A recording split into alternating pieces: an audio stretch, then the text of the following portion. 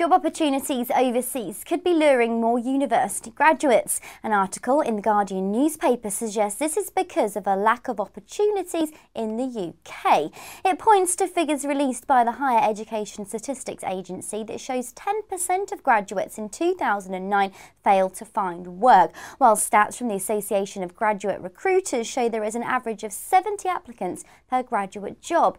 The article's focuses are, are on some of recent university leavers heading abroad to find employment. It quotes Nanette Ripmeester, a Rotterdam-based international careers expert who says within the European Union, the UK and Spanish job markets have been worst hit, but other countries such as the Netherlands and also newer member states like Poland have not suffered as much. She adds that countries outside of Europe like Singapore and China have considerably better job markets.